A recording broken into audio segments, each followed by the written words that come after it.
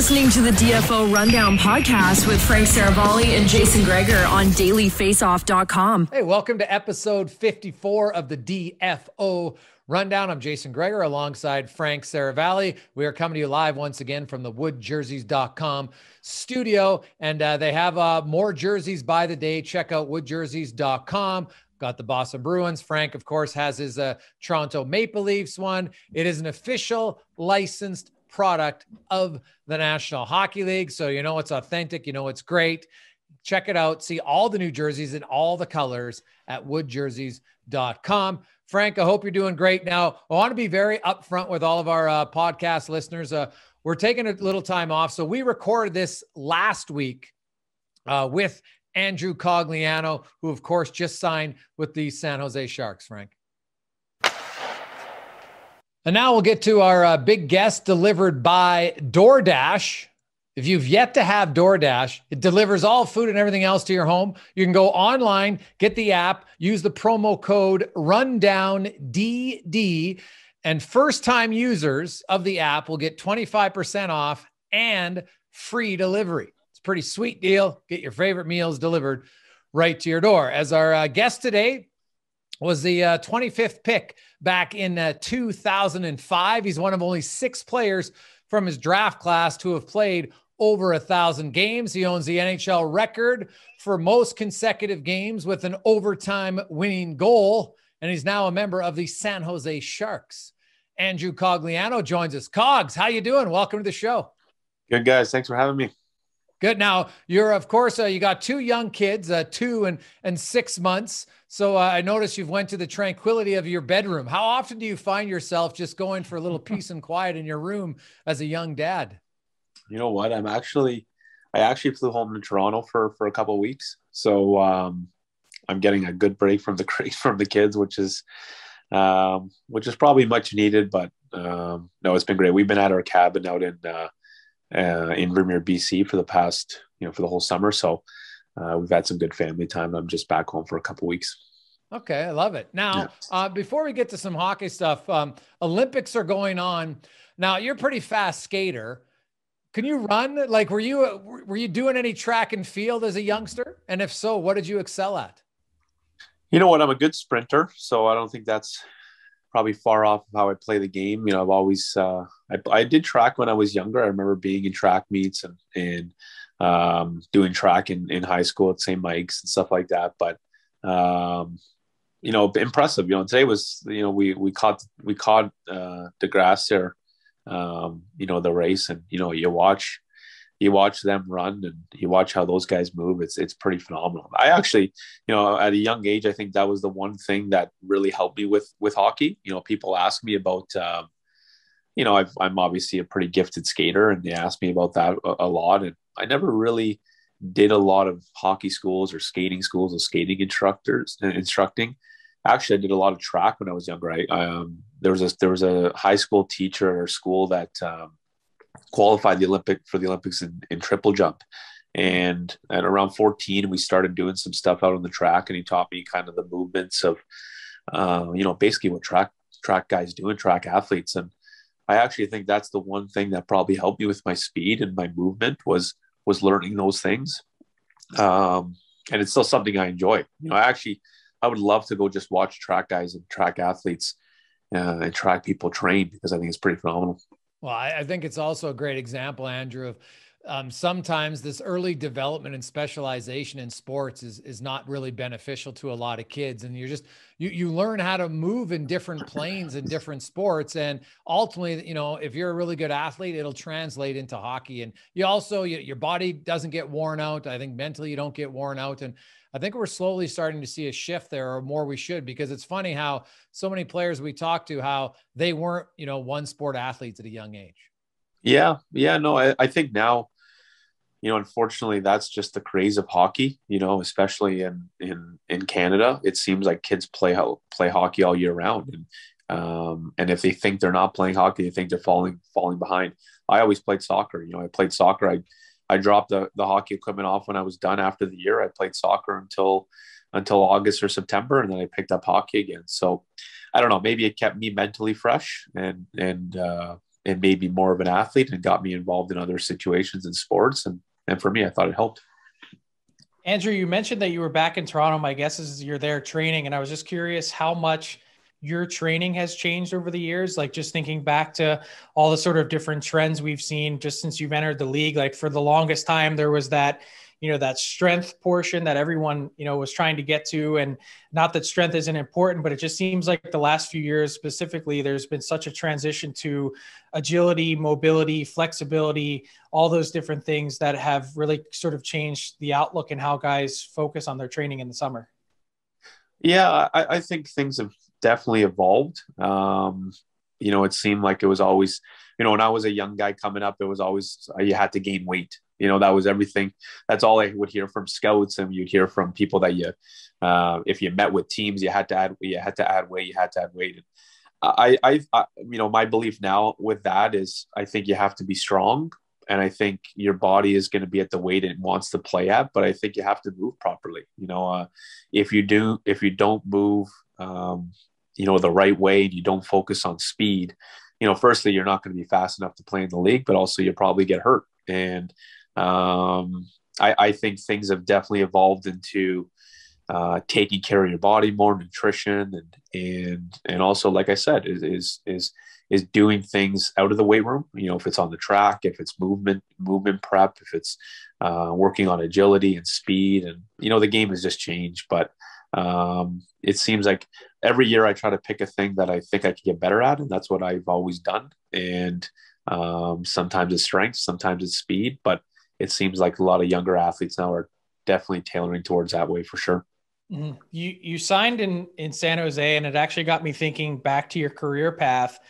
And I noticed that you've spent your entire career in the West: Edmonton, Anaheim, Dallas, and now San Jose. Being from Toronto, not a Maple Leafs question, but did you have any pull at all to you know to play in the East, where a lot less time on the plane, a um, little bit of a different style of game at times? Was there any thought in your mind as a free agent that you might want to try out the East?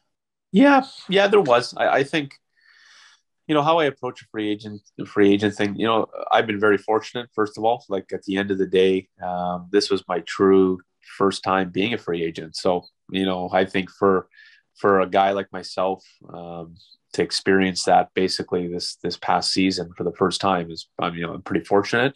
Um, I just went with, you know, I I I took the situation as who really wants me, and that's basically what I what I uh, what I thought about. You know, there are a couple teams that um, you know I think you know would have interest, and maybe the East would have been a situation where there'd be a different type of game to experience. But uh, you know, I'm very I'm very familiar with the West. I think that's one thing that you know just by playing there, the teams there, how how the the teams play, and you know, I don't know. I don't know if it's nice weather or California, but I like the uh, um, the Pacific Division has been very good to me when I was in Anaheim. So, um, but you know what, San Jose, they were a team that expressed, uh, you know, just interest right right right from the beginning. Um, they seemed like a team that had a plan for me right from the beginning and wanted me. And you know, I think in in the grand scheme of things, as a player, that's all you want. You want a team that has a plan, and you want a team that wants you. And I felt that right from the beginning from them, and and at the end of the day, that's why I chose to go there. How, and this was your first time through it, Andrew. So do they outline, you know, I look at your career and they say, okay, we're, we're going to want you, you know, as a veteran, you know, third line player who, who can, they got some young forwards in that team saying, Hey, this is where we want, you know, you're going to play maybe more defensive zone starts, possibly like, do they go that in depth about what their plan is with you? Yeah, I, I think they, they talked about a few things. I think they, they talked about, um, you know, they felt like last year, uh, Couture and Hertl, you know, took a lot of the brunt in terms of, you know, uh, offense and defense. Um, and sometimes for guys that play are expected to provide offense when you have to take all the defensive load and and be in all defensive situations, it takes a lot out of them and sometimes takes away from the offensive game. So I think they were looking for some guys that are experienced in those situations, have been there before, um, you know, can defend uh, defend and play the right way. And and and I think for me, I think you know they they looked at me as a guy that if I if they have some younger players that um, you know need a veteran guy to play with, um, they looked at me as an opportunity to do that. You know, and and I feel comfortable doing that. I've actually enjoyed that over the last couple years. You know, younger players that I've played with. Um, was it was you know it was last year I played with a guy named Rhett Gardner some games and Ty Dellandrea Um, and I, I, think my biggest asset is I can communicate well. You know, I talk a lot on the ice. Um, I talk a lot before the games and in between periods. And sometimes for young guys, that helps. That helps um, make them feel comfortable. That helps them have a plan and a process during the game, and um, and also helps me because they're young and they should have all the energy. So, um, you know, hoping if that's the role, I think you know I could be uh, do a decent job at it for sure. Now, Andrew, here we are. It's it's 2021. You were drafted in 2005. Uh, 2005. Uh, it seems like a long time. You're now, you know, suddenly that wily veteran guy in the room. But I want to go back to, to your early days, you know, in Edmonton specifically. When you came in, you know, you and Sam Gagner came in as young guys together. I think you were 20 years of age when you broke into the league. So, you know, young and wide eyed and just happy to be there. who are veterans that helped you you know, not just on the ice, but maybe off of the ice those first few years in Edmonton? Um, you know what? I, I think, you know, there's three, three big guys that really, um, really stand out. Uh, Shawn Horcoff, uh, Steve Staios and uh, Ethan Moreau. You know, I think Ethan gave us his house the first year. Um, you know, Steve would let us, you know, Steve would have, Steve would basically do everything that we do, what I do with young guys now. You know, uh, kid, you know, I, we would go over their house, play with the young they're young children and um, and that's what I have guys come over my house now and do the same thing. So um, uh, and Hork, you know, I've I've known Hork. I've had a good relationship with Hork now, you know, from the beginning. You know, till now, I still talk to him, um, you know, on a weekly basis. So uh, those three guys, you know, I, I think the biggest thing with them is they were easy guys to watch and follow. Um, you know they were just professionals you know they they they trained hard i would go out to la with them in the summers and train with with those guys with Stoli and Greene and, and Hork and um, but you could tell they were just old school you know I'm, I'm i'm to be honest i'm very fortunate that i came in that era uh, i was a young guy in that era i, I feel very lucky that um, you know you you be around guys that approach the game uh, in an old school way and, and they prepared the right way they played hard and um, and they're great teammates. So um, that's one thing I've taken with me this whole time, and um, and now it seems like I do the same thing for young guys on, on my team. You know, I, me and my wife Allie, we we take pride in in, in helping younger guys and, and having them over and making them feel comfortable. And um, I think that's the one thing I could give back because that was was was done with me. So now you said Ethan Moreau, you lived with him and his wife Ornella, or you and and it was you and Gagner, or did he just give you the house and he lived in another house? Uh, we we rented their their house, but I don't even know how much we rented it for. It must have been pretty cheap. It was me, Gags, and Gibby for uh, our first year. So okay. they had another house. They were living in, I think it was Comrie's dad's house. They they were okay. renting that, you know, for a while there, and then we had a place out in. Uh, he gave we had the house that he kind of lived in before. So now, how is that as as you three? Who is who is the chef? Who is who was just like the tough guy? Because you you you'd been in college there for a few years, so uh, I don't yeah. know if you lived well, in dorms or not. But how was that with uh, Gilbert and, and Sam Gagner? Gibby was the oldest, right? By he must have been what four or five years older than us. So had uh, he had hair. the master bedroom, right? He had the master bedroom, and uh, and he was the dad. You know, he was the dad. But he did all the things like he played video games all the time, and he was always watching movies. So he did all the things like kids would do. But but he uh, but he he was definitely the uh, the father figure, and you know we had a great time. You know, you can't think of a better situation of playing playing with guys, living with guys. Um, you know, those yeah, those years were were, were amazing. So, you know, as simple as that. So probably not any shock to you, Andrew. You know, with Steve and and Shawn still having really active roles in the game. Always dangerous to ask this question to a guy that's still playing and still has a lot left to give. But have you given any thought to what you might want to do down the road, and and would it still be in hockey? Yeah, you know what, for sure. You know, I've, you know, I, I think I've been able to play as long as I've had because I've been proactive. Um, I've always been a guy that's evolved and always been a guy that's kind of try to have once you know be one step ahead. And and for me you know you know there's going to be a day where you just won't play hockey. You know that's just simple as that. I think that that day hopefully it's not for a couple years but you know you have to start preparing for that and and thinking about that. And um and in order not to be caught off guard you have to give some some thought to that. So, you know, for me, I, I love the game. I just do. I love everything about it. Um, you know, it seems like I gravitate to guys that love the game as well and and and think uh, you know like coaches or like managers and um and it's something that, that I definitely um you know I think about I want to get involved in you know I don't know about coaching coaching seems tough to me coaching you know it just seems like it's a lot of uh, a lot of work and it's the grind and um and I don't know if that is something that would interest me down the line but you know management's something that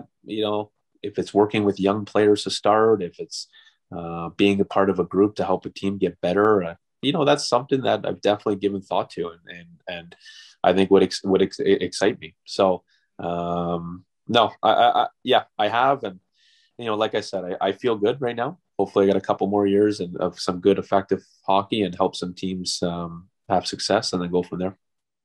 You mentioned that you gravitate to guys that love the game like you do. I've always wondered this, you know, spending time really close around teams as a beat reporter. It seems like there's always a couple guys on every team that maybe aren't in love with the game at that moment. Can you, as a player and a teammate, can you tell when when a guy is like sort of fallen out of love with it, or it's become more of a, a job than anything else?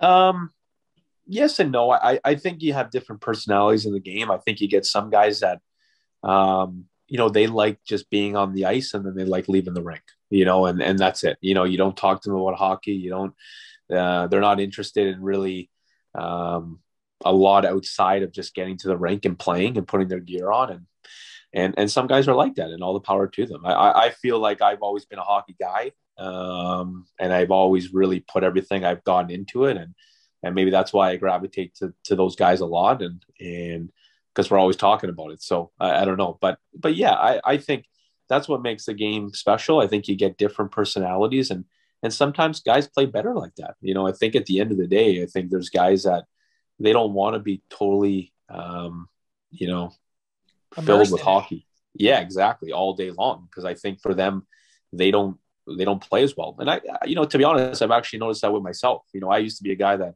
would watch hockey all the time, game after game after game after game. And, you know, about two or three years ago, I kind of like just, I just stopped. You know, I just said, you know what, I'm just going to focus on my game. I'm going to have fun at the rink and focus on what I'm doing and play. And, and I kind of noticed it just took a little bit of pressure off. It helped me kind of do what I was doing. And, um, and sometimes it works. Sometimes, sometimes it's a lot. And if you, if you approach it like that, it could be too much.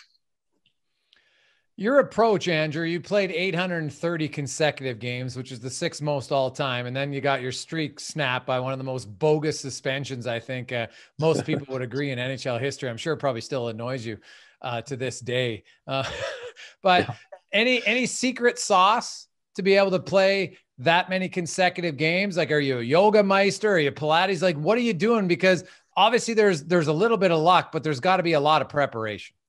Yeah, you know, there's luck. I, I will. I'll give that first. There's luck. Um, I don't know. Like I think for this, for a lot of the time, I think I'm hard on myself. I think that is one thing that, you know, maybe when I step back at one point, um, I'll give some credit to is I'm just hard on myself in terms of how I prepare and, and how focused and detailed I am in my preparation. If it's the off season, if it's in season, and you know, sometimes I get glimpses of that when I'm around other guys and other players where you know, I just noticed that sometimes what I'm doing is is you know a little bit more than the next guy. You know, I'm just going to be honest, and I think that shows in the the career I've had. Um, so, you know, but I but I've also enjoyed a lot of the stuff that helps you play long. You know, I I enjoy the nutrition side of it.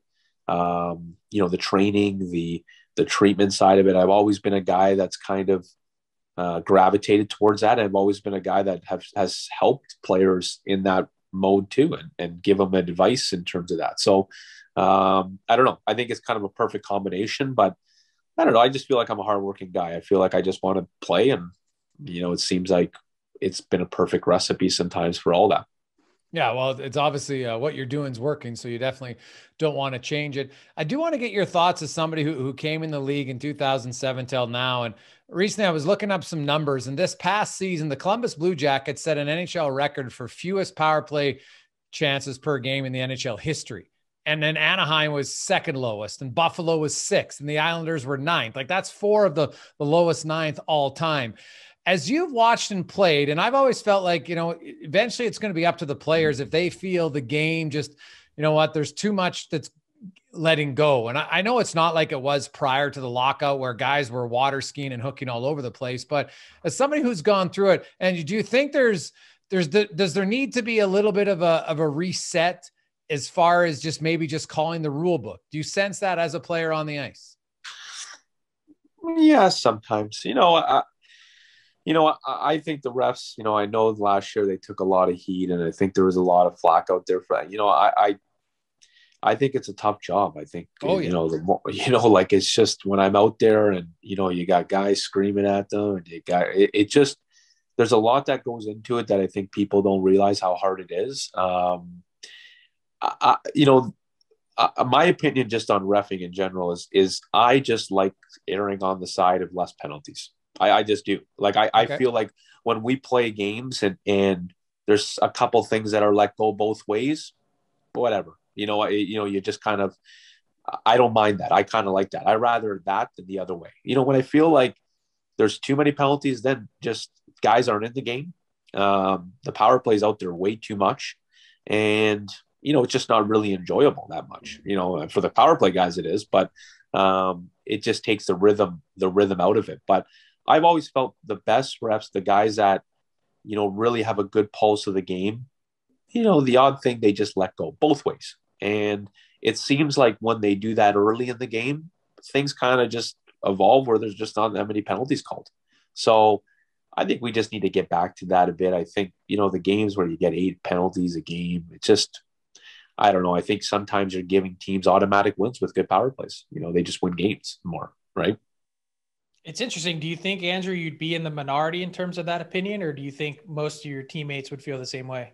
Uh, who, I don't know. You know, it's a good question. I, I that's a, I think power play guys probably want it the other way. I think, um, yeah. I think there's, you know, I, I'm sure there's players in the league that get, you know, abused out there more than I do, you know, that want more penalty calls.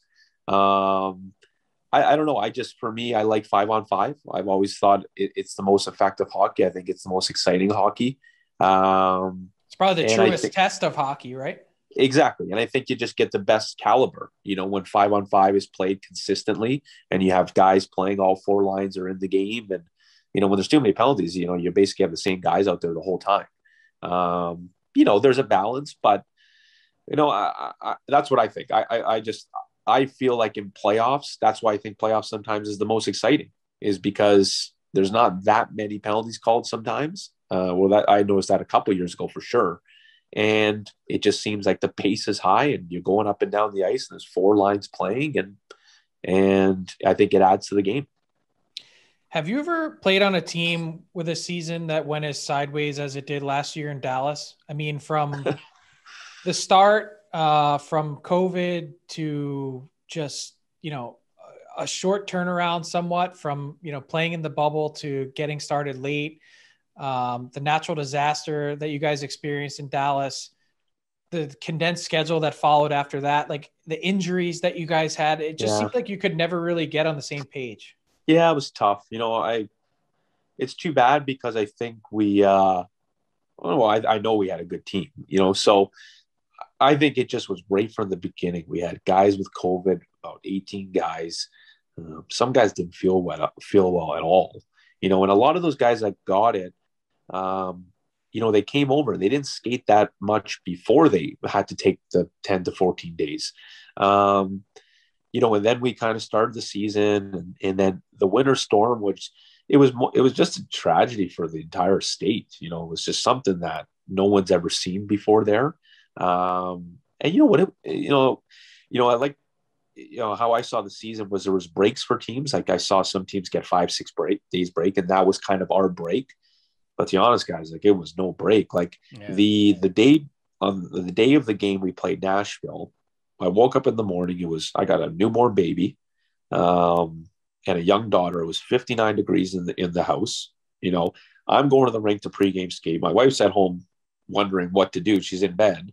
And then you know, we go play that night and then the game gets canceled. And then my wife is at another guy's house in the dark because no one had power. And then we end up spending five days, four or five days at Jamie Benn's house, two families of us, which, you know, you know, Jamie was, you know, you know, an amazing guy, an amazing person, but you know, you, you have two families with five kids running around his house and, you know, there just wasn't a break. So you come out of that and then you're just chasing it. It just felt like it was a year where we are just completely chasing it. Um, Roope Hintz was hurt all year. We lost Radulov.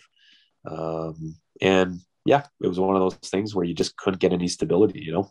No Bishop, no Seguin. I mean, it was like, yeah, yeah. And, and Dobie was, he came back and he was hurt to start the, the camp and he had a missed camp a little bit. And, um, and Seguin, you know, say he's our top line center, right? So we didn't have him for the whole year. But losing Rads during the year really kind of hurt, I thought, because he was a guy that drove the offense pretty well. Um, and Roope, who was probably one of our best players, was he was playing on one leg pretty much the whole year. So I think it was if it, you know the big reason why we kind of kept kind of sputtering along was Robertson. You know he came in and played really well um, and gave us a lot of points and put a lot of goals on the board. So he was a big reason why we kind of got where we even were. So I know they've made some changes, you know, adding some players. Obviously, someone like you departs, but someone tweeted out their potential lineup the other day, and I was like, damn, like that team yeah. could be really good. Would that surprise you at all to see Dallas right back in the mix? No, I think they're going to be really good. You know, I, I and uh, you know that's how it goes. You know, unfortunately, I won't be there, but um, I think they're a really good team. I think they're going to be solid next year. The, the additions of Suter and and even a guy like Glendening and um, you know I I just think their team is I think they've really come along and they now know how to win and I think Bones is a really good coach and um, I think guys play for him there. I think Jim you know Jim just runs a great operation there. You know I I, I think it was, it was amazing playing for a guy like Jim Nill just the you know you you, you have a, a manager like that who you could feel the genuine um, compassion of, of wanting guys to play well and wanting guys to be at their best. And I felt that. And I think that's why things are trending upward there. And I looked at their lineup too, and I was like, oh man, it's a really good lineup. So um, I wouldn't be surprised if, if they go really far next year. Not to, uh, Jay, uh, sorry to jump in again, not to put you on the spot, Andrew, because I'm sure you've played for a lot of great people. But I mean, you mentioned Jim. Is he the nicest guy that you've played for. Like I, I every, every interaction that I've had with him, um, like not to tell tales out of school, but when I left my job a few months ago, like he was literally the first person to ring me on the phone after I sent a tweet. Like, yeah, uh, just yeah. an unbelievable, genuine person.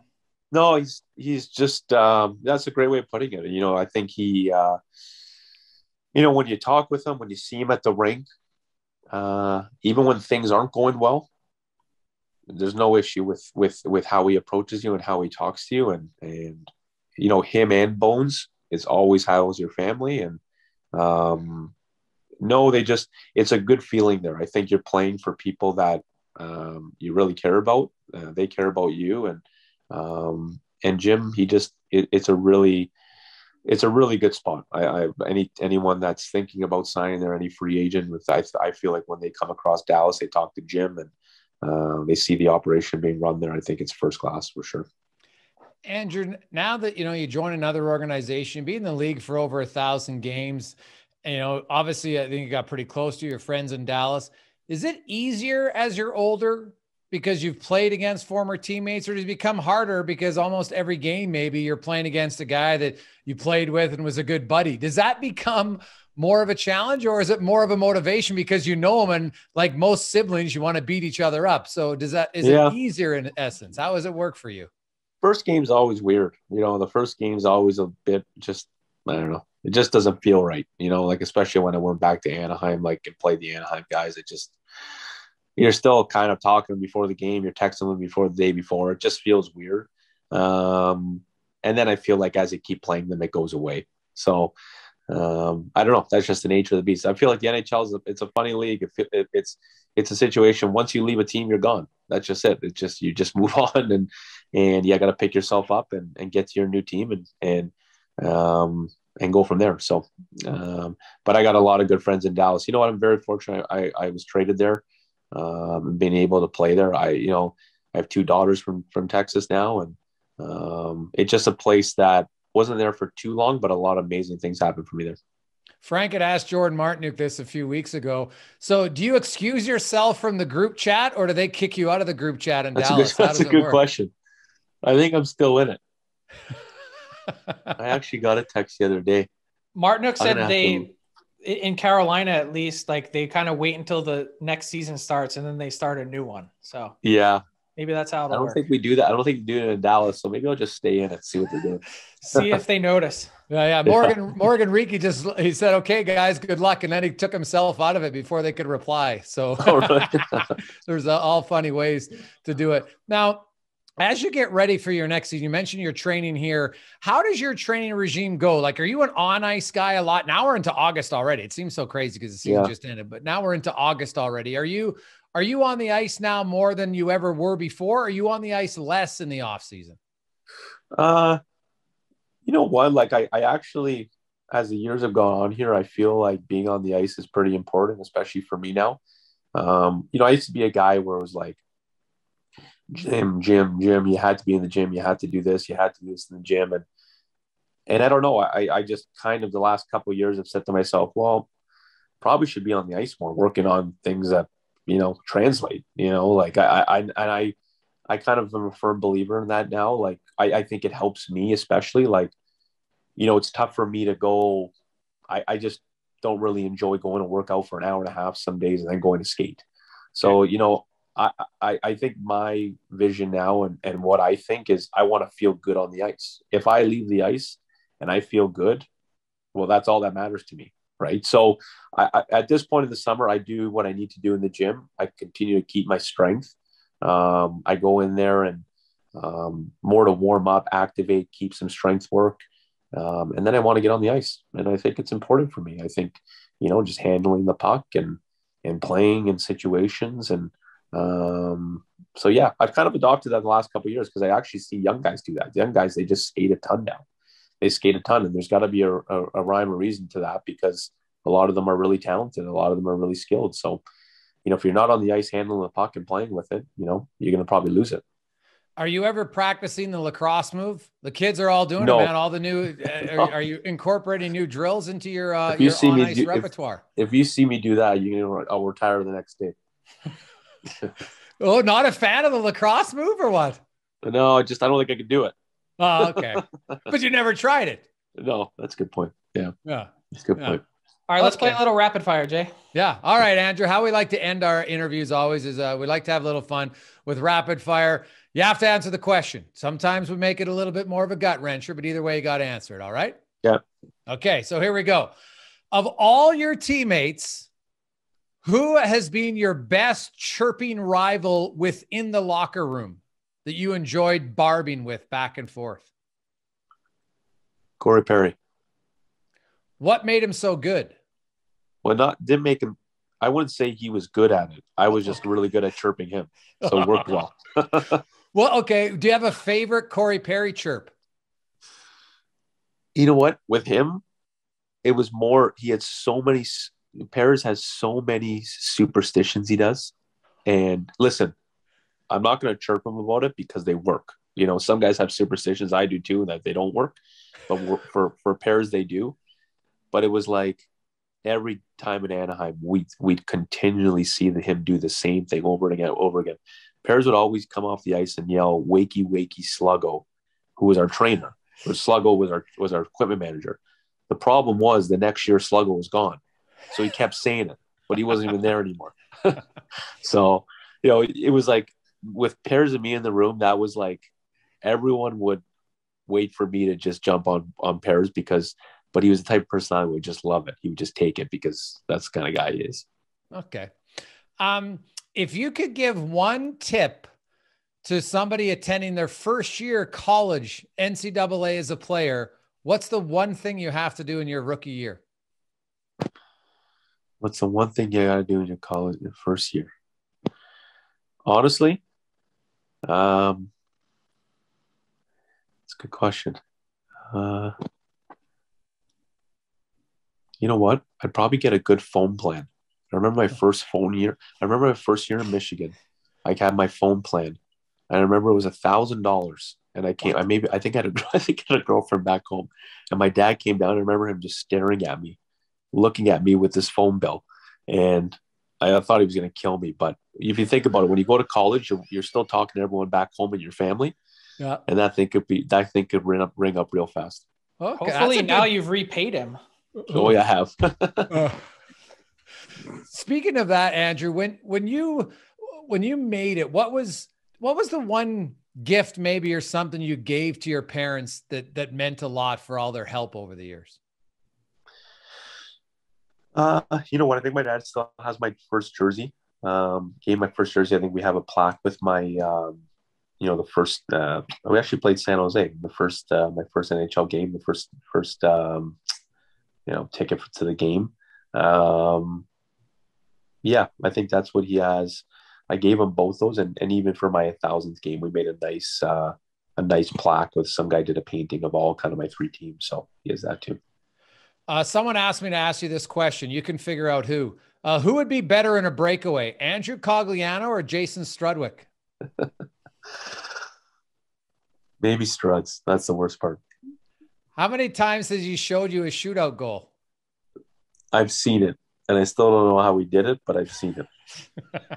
I don't actually. I don't even know how we did that. Like Struds, I don't know. He's a piece of work. Oh well, the great part was uh, he was shooting. He was going top blocker and ended up going uh, low opposite side. Yeah. That's what made yeah. it so classic about that. Uh, well, still a pretty big shootout goal. John Davidson. Anytime we play that goal, it's so funny. There's so much surprise in John Davidson, who is the color analyst's voice. Yeah, that's what makes the goal even better. Uh, you scored three consecutive overtime goals how how superstitious were you? Like, what was the chatter before the third game? Like, were you going on the ice like I'm scoring for sure? Like, were you that confident at that point? You know what? The worst. The, you know what the funniest part about that whole story was? I had my best chance to score the fourth game. We were in Colorado, and we went into overtime again. So that we went we went four games in a row. Bobby Nilsson had the puck behind the net and passed to me right in the middle of the slot from behind the net. And I remember, I actually just remember seeing the goalie still looking at Bobby. And I actually skied the puck into the netting. But that would have been the fourth in a row. So like I know for a fact we went we went four overtimes in a row, and that was actually my best chance. But they took my stick after the third one.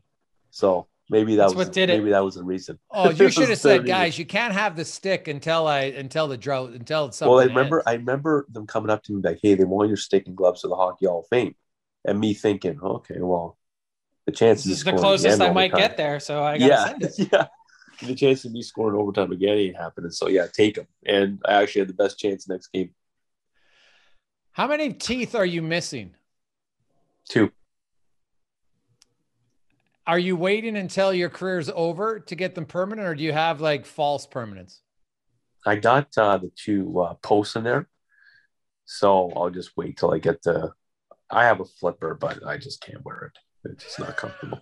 and uh, lastly, um, which player in, in your career? You talked about guys who helped you early on. Who have you always enjoyed playing the most, and why? Playing against? Yes. It's a good question. Um, oof. Gotta figure out who to put on the spot here. Um, you know what? I'm friends with. I'm kind of friends with him. Is I played with Lucas Sbisa. Okay. and I don't know, but every time I'm out there against him, I forecheck him. I'm always taking the puck off him. I'm always everything's happening when I'm on the ice with with Spees, and I always tell him I'm like I don't know if it's me or you, um, but it just Probably feels amazing him. when you're on the ice. yeah. oh. And you just know it. That's just the confidence. You're like, oh, Spees is out there. I'm getting the puck for sure. Yeah, I don't know. It just I'm on him on the forecheck. He's a little bit like lackadaisical sometimes, and I always had good success against him. How have you played in San Jose? Are you looking forward to being a, a home member of the Shark Tank? Have you had success there? I've had some rough games there. That's for sure. I've had some rough games in the Shark Tank, but um, but yeah, we'll see. It's exciting. I, I think for me, uh, I, I think I'm at a point where uh, you know I'm enjoying the experiences, and I want to kind of, yeah, I think it's exciting to try something new. Well, Cogs, it's always great to catch up with you, man. Uh, continued success uh, in, on a new team in, in a new year, and uh, enjoy the uh, the break from your kids. But I know in another day you'll be wishing they were there. That's usually how it goes. Uh, you, you like it for the first night, and then all of a sudden you're like, "Geez, where yeah. are those little rodents?" I know. Sounds good, guys. Thanks so much, Andrew. All right, guys. Thanks. That was Andrew Cogliano. Really good dude. Frank, I'm telling you, I will be stunned if Andrew Cogliano, four or five years down the road, whenever he retires, is not going to be in management. He's a very articulate person. He's a very deep thinker, looks into stuff. Uh, I firmly believe that Andrew Cogliano is going to start out in player development for an organization and he'll thrive in that role. You don't make it playing that long in the National Hockey League and continue to play without the love of the game. That was actually what I was most interested in. Not to say that a lot of players that play a thousand games don't love it, but uh, I think there's certain guys you come across that you just know uh, it's become a job at that point, and and those are the guys that don't end up sticking around. So uh, interesting that he kind of knew right away too that coaching probably isn't for him. Lots of time glued to your laptop. Uh, as you said, seems like more of a, a thinker, a 30,000 foot guy who has a pretty good grasp on everything going on around him. Well, that was uh, episode 54. Once again, we had pre recorded this uh, last week to have some time off, but we will be back live though on the uh, 16th for another pod. And a very special head coach is uh, going to join us then. Uh, Frank, uh, I'll see you in the future. Thanks for listening to the DFO Rundown with Seravalli and Gregor. Keep it locked on dailyfaceoff.com and subscribe wherever you get your podcasts from to never miss an episode. Delivered by DoorDash.